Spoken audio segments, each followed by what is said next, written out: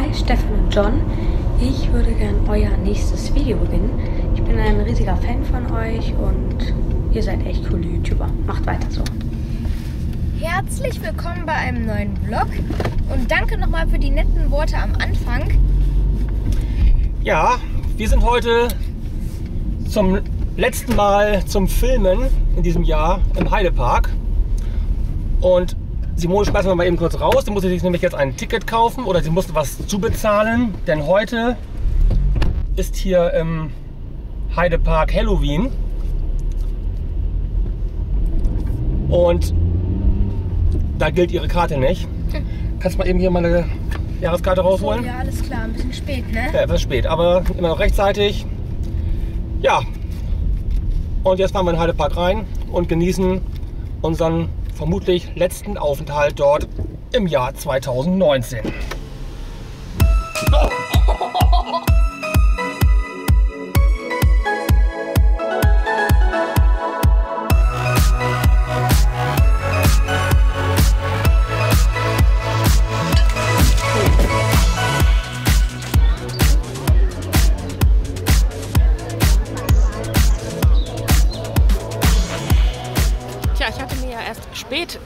Jahr überlegt, mir einen Saisonpass zu kaufen, aber nicht bedacht, äh, dass ich das Halloween-Spektakel damit nicht miterleben kann.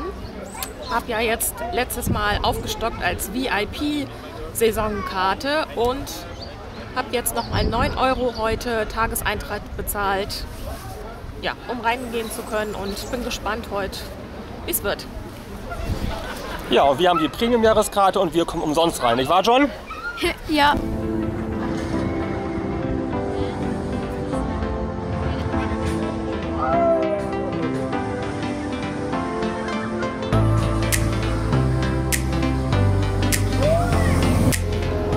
Irgendwas stimmt ja nicht heute. Bestes Wetter und das im Herbst. Die letzten Mal, wo wir hier waren, war ja nur Regen. Und hier haben wir den Merlin.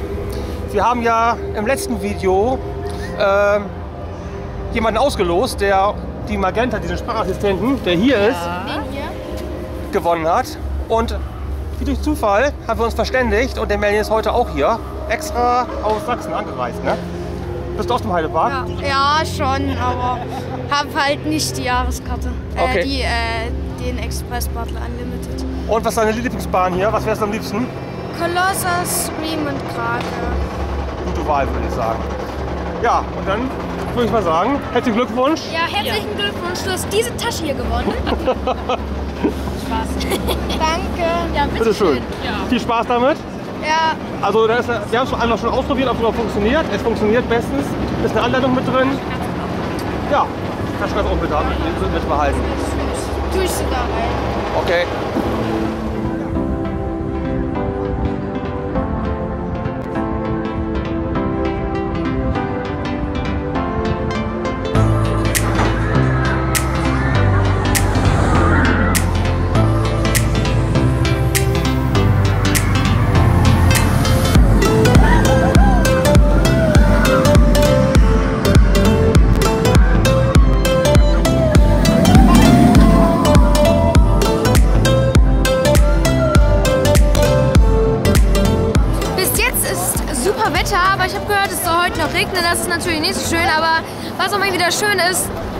Man wieder mal im Dunkeln schön fahren und das Feuerwerk genießen. Und naja, ich freue mich schon auf später. Heute ist ja wieder der Halloween-Tag und ja, bis jetzt haben wir noch keine Gestalten gesehen hier rumlaufen, aber ich glaube, das werden wir noch.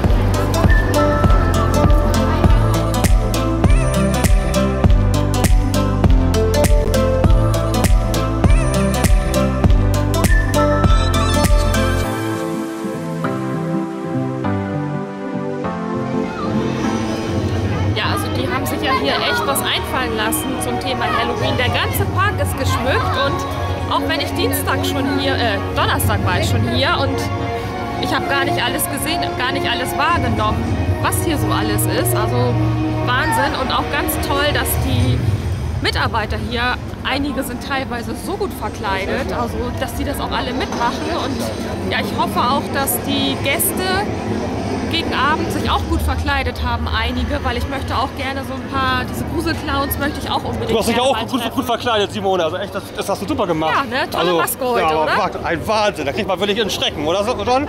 Ähm, naja, ich kriege auch einen Schrecken, wenn ich die morgens sehe, schon mit ihren nicht gemachten Haaren und so, aber jetzt kriegt man natürlich auch einen Schrecken, wa? Tja, was soll man sagen, ne? Diese Jugend von heute. Hey Papa!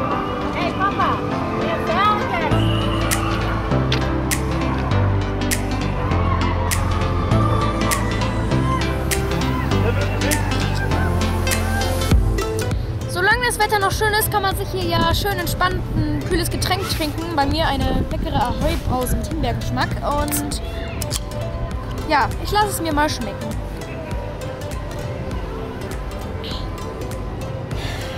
Ja, irgendwie ist das ja ein betrübliches Gefühl, wenn man jetzt weiß, dass es wohl unser letzter Besuch im Heidepark dieses Jahr ist. Mit Glück schaffen wir noch einen weiteren. Aber es ist auch schön zu wissen, dass wir durch unsere Jahreskarte jetzt hier auch die Ruhe gefunden haben, dass man sich hier mal hinsetzen kann. Ich habe es, glaube ich, irgendwann schon mal erzählt, dass ich hier früher, wenn man hier ein, zwei Mal im Jahr war, wenn überhaupt, natürlich viel schaffen wollte und auch viel schaffen muss. Dass man hier durch den Park gerannt ist wie ein Wahnsinniger, um möglichst viel zu fahren. Und jetzt haben wir mal die Zeit hier in Ruhe, wie John schon sagt, ein kühles Getränk zu genießen. Das machen wir jetzt. Was gibt's denn bei dir Schönes? Und John hat mir einen Fuse-Tee mitgebracht. Schmeckt sehr gut, sehr erfrischend. Dann lieber ein Naturprodukt.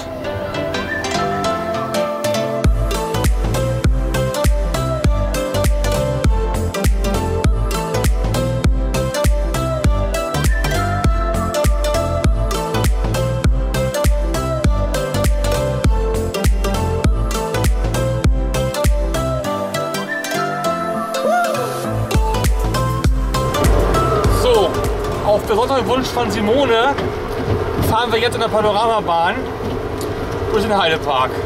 Da ist Action vorprogrammiert.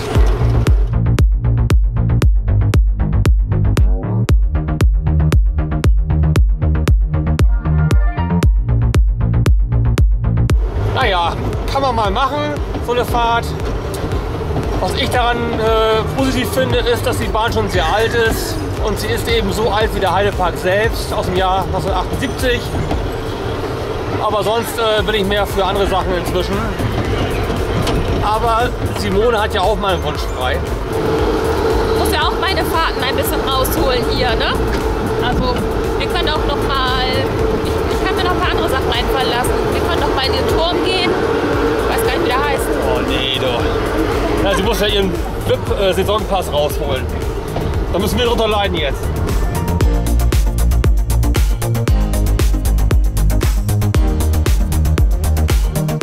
So, wir haben es geschafft. Die Fahrt ist beendet. Simone, war es gut? Super wieder. Johnny, hat es dir auch gefallen? Ja.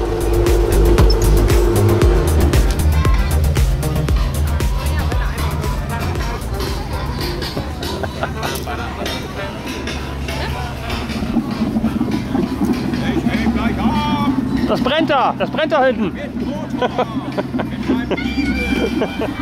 ja, per Instagram kam gerade was für John von XX Michelle XX unterstrich XXC, was immer das heißen mag, weißt du das? Äh, ne. Auf jeden Fall schreibt sie, hey, bin gerade auch im Heidepark und habe euch gerade eben gesehen und wollte fragen, ob John Lust hätte, mit mir eine Runde Scream zu fahren. Meine Familie möchte nicht mit mir fahren. Ja, ich fahre sehr gerne. Spaß. Ja, viel Spaß, genau.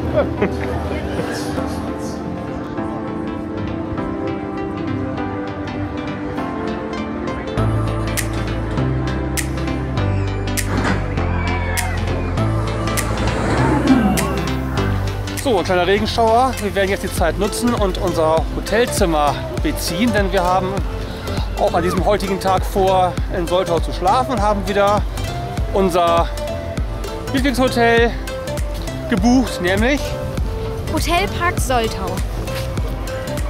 Ja, und da gibt es noch eine spannende Sache. Wir haben diesmal leider kein Dreierzimmer bekommen, sondern mussten ein Doppelzimmer und ein Einzelzimmer buchen. Hallo zusammen, ich bin Peppa Pig. Peppa Pig ist da. Und das ist mein kleiner Bruder Sean. Schorsch ist auch da.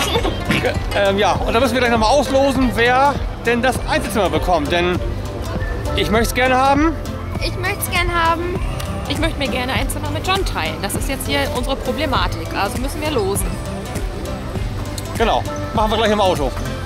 Im Auto angekommen, auch bei McDonald's angekommen, denn wir wollen mal eben was essen, denn wir haben keine Lust, äh, heute was im Park zu essen. Ähm, wollen wir jetzt die Zimmer auslosen. Ja, Stefan hat schon drei Lose vorbereitet und ich mische mal. John besteht darauf, was er zuerst zieht. Ja. ich So. möchte halt so gerne. Ich nehme jetzt einfach den. Und? Spannung, Action. Ich habe ein Doppelzimmer. D.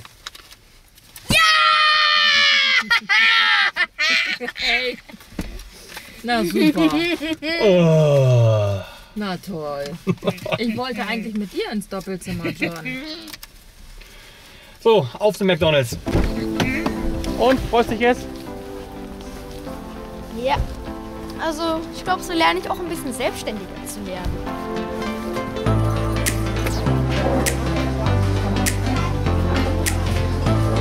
Es gab ja nur ein Käsebrötchen zum Frühstück heute um kurz nach neun und wir haben riesen Hunger. Ist das deins? Ich weiß Der nicht, was Riesenburger. Sieht gut aus. Was hast du da bestellt? Hamburger Royal Käse. Ohne Zwiebeln. Ohne Gurkenscheiben. Ich habe eine Empfehlung von Stefan, habe ich noch nicht gegessen. Double Steak Beef. Ja, Das sieht ja wohl köstlich aus, ne? sieht, sollte mich satt machen. Gar nicht viel labern. Guten Hunger. Ja. So, 127, unser Zimmer. Ich zeig's mal. Das Doppelzimmer.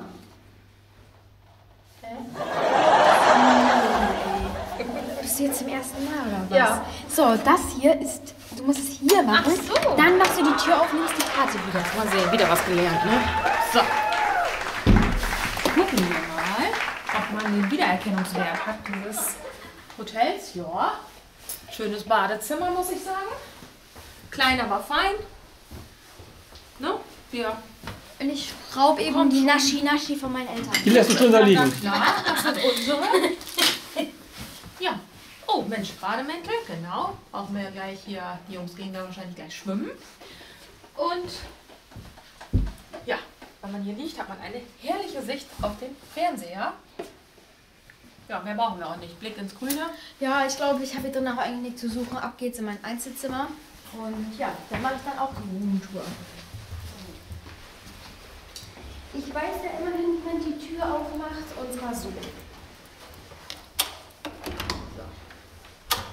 Mein Einzelzimmer. Äh, Fangen wir an mit dem Badezimmer. So. Ähm, Dusche, Waschbecken, Toilette. Kenne ich eigentlich ja schon hier. Aber ich bin so glücklich. Ähm, dann haben wir hier mein Bett.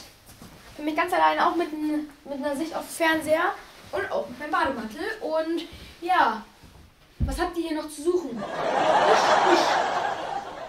Hast du so ein großes Zimmer für dich alleine verdient? Ich weiß nicht. Ja, wurde ausgelost. Ja.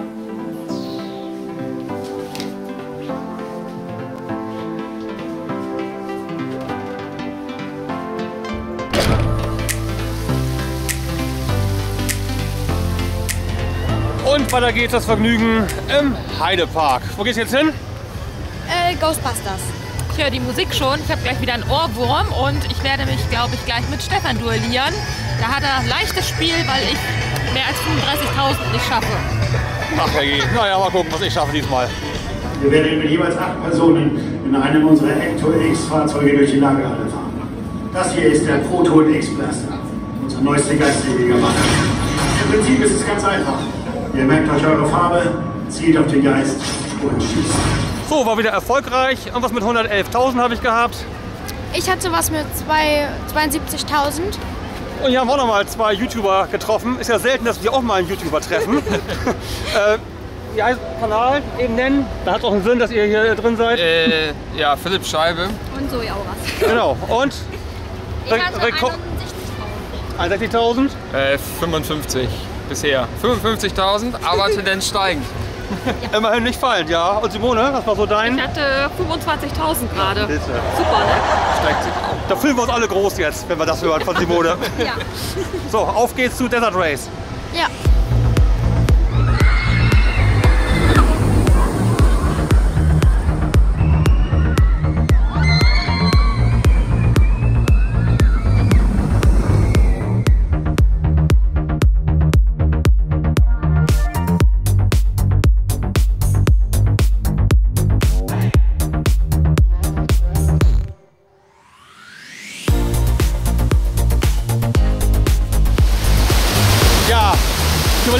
sehr lange, den ganzen Tag. Irgendwas war morgen. Es war, glaube ich, nicht so was Wichtiges, aber, aber irgendwas war. Ich weiß es auch nicht, was morgen war. Also irgendwas war, ich weiß nicht. Also ich habe es irgendwie leicht verschwommen, aber keinen Grund irgendwie zu feiern oder sich zu freuen oder so. Nein, das nicht, aber. Na gut, dann bist du. Ach doch, vielleicht weiß Simone ja, was war. Ich weiß es, ich verrat's nicht. Schreibt es jetzt in die Kommentare. Auf die Plätze, fertig, los. Welche Kommentare? Und? Wir haben keine Kommentare, die Kommentarfunktion ist doch gesperrt, Mann. Aber wir haben ein Aber- eigenes Kommentarsystem in der Ja. Videobeschreibung. Ja, das stimmt. So, und jetzt habt ihr lange genug gewartet. Soll ich sagen, was morgen ist?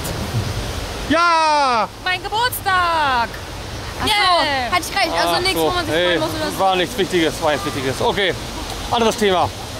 Heidepark.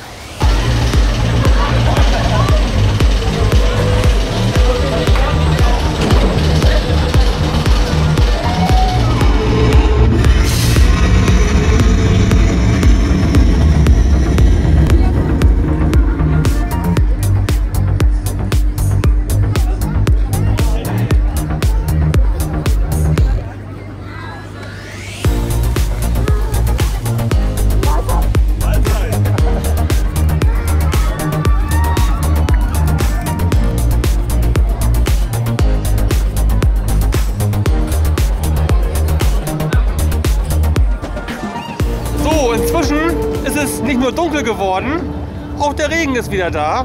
Wunderbar.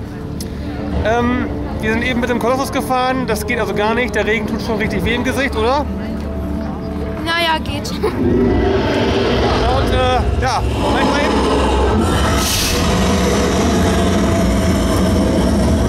Ja, und wir warten jetzt auf jeden Fall ähm, auf das Feuerwerk, das um halb neun äh, beginnen wird. Und Achterbahnfahrten haben wir für heute erstmal eingestellt. Aber jetzt hat der Regen gerade wieder ein bisschen aufgehört, oder? Nee, ich glaube nicht. Aber es gibt auch Durchsagen. Also man wird darauf hingewiesen, dass die Fahrt unangenehm werden könnte. Auch beim Scream kam so eine Durchsage, beim Kolossus kam die Durchsage eben auch. Es ist unangenehm, im Regen zu fahren. Ja, das stimmt. Das wissen wir aus Erfahrung. So, und jetzt geht's weiter durch den Park im Dunkeln. Genau.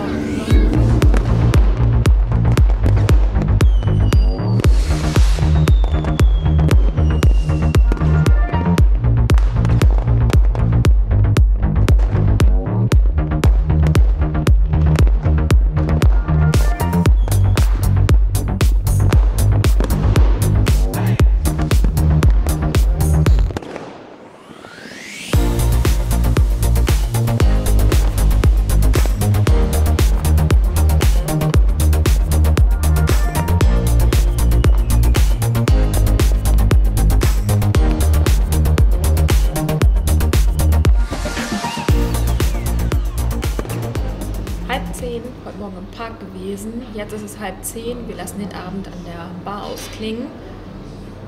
Zwölf Stunden, so gut wie nur draußen gewesen. Mein Gesicht glüht von der vielen frischen Luft.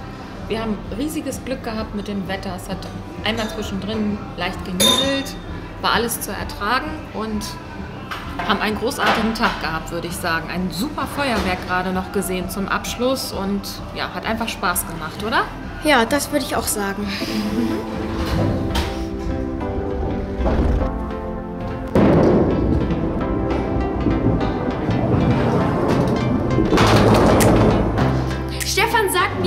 soll nicht so werfen, ich soll so werfen, weil er so irgendwie eine Meisterschaft gewonnen hat. Ein bisschen, ja. Das war keine Meisterschaft, es war einfach nur ein, ein Ferienprogramm, ein Kegelturnier.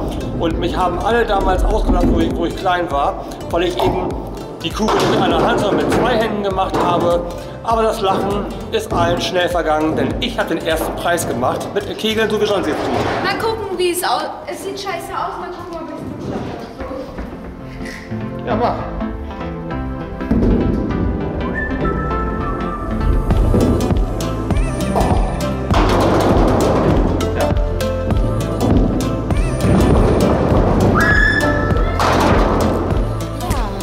ist, ähm, warte, was war nochmal heute? Ich muss mal kurz überlegen. Wie gesagt, nichts Wichtiges. Simone hat Geburtstag, aber wir haben trotzdem was für sie. Weil, naja. Welche Hand? Rechts, links? Beide. Schade. Oh, was für ein schönes Papier. Extra für dich. Dankeschön. Da quält man sich ab, läuft durch die Läden, um was Richtiges zu finden, wickelt es liebevoll ein. Und was kommt dann? Was für ein tolles Papier. Ja, darum mögen wir diesen Geburtstag jedes Jahr immer so.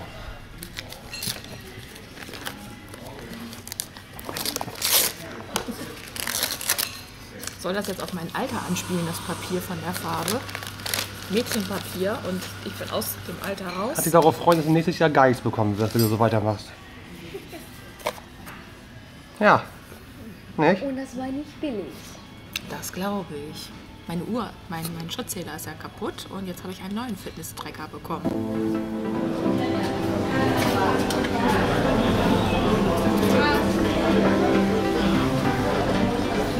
So, zum letzten Mal in diesem Jahr. Leider. Ja, leider.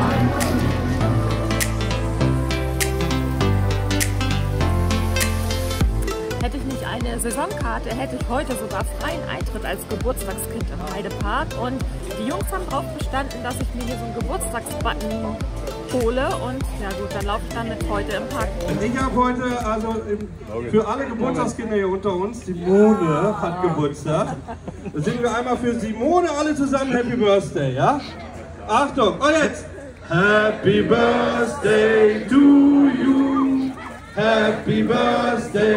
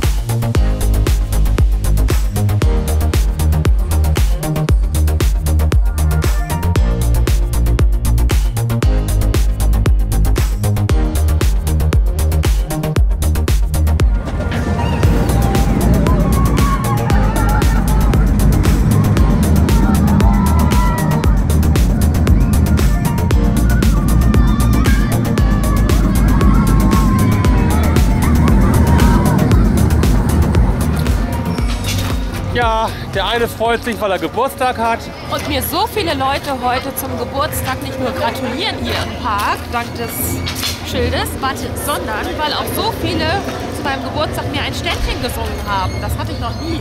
Ja. Und die anderen sind sehr betrübt, weil es heute der letzte Heideparkbesuch von uns sein wird im Jahr 2019. Oh.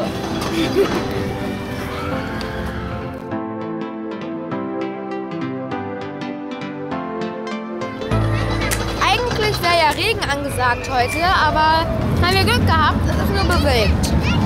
Ja, und es ist heute nicht so voll, es ist total angenehm und wir gehen jetzt äh, Richtung Kolossus mal wieder und ja, dank des Butlers brauchten wir auch nicht so lange warten. Das war echt eine super Entscheidung von Stefan, auch wenn er echt teuer war, muss ich sagen.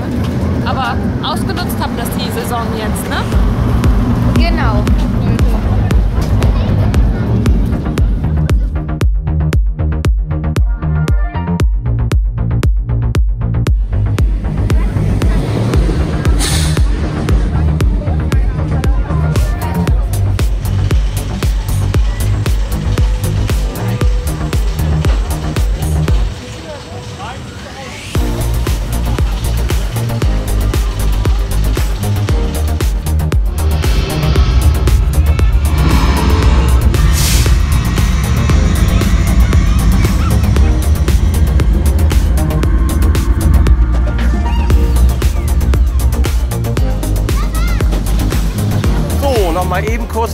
Abschluss meinen Rekord geknackt bei Ghostbusters. Über 124.000 Punkte. Sehr schön. So kann ich auch mit einem lachenden Auge den Heidepark verlassen. Ja, und ähm, ich glaube, das Video hat jetzt eine spezielle Länge erreicht, wo wir das Video auch mal beenden könnten. Wollen wir das noch machen? Ähm, ja, wenn euch das Video gefallen hat, könnt ihr das Video liken, uns abonnieren, wenn ihr es noch nicht getan habt. Und ja, dann sehen wir uns im nächsten Video wieder. Tschüss!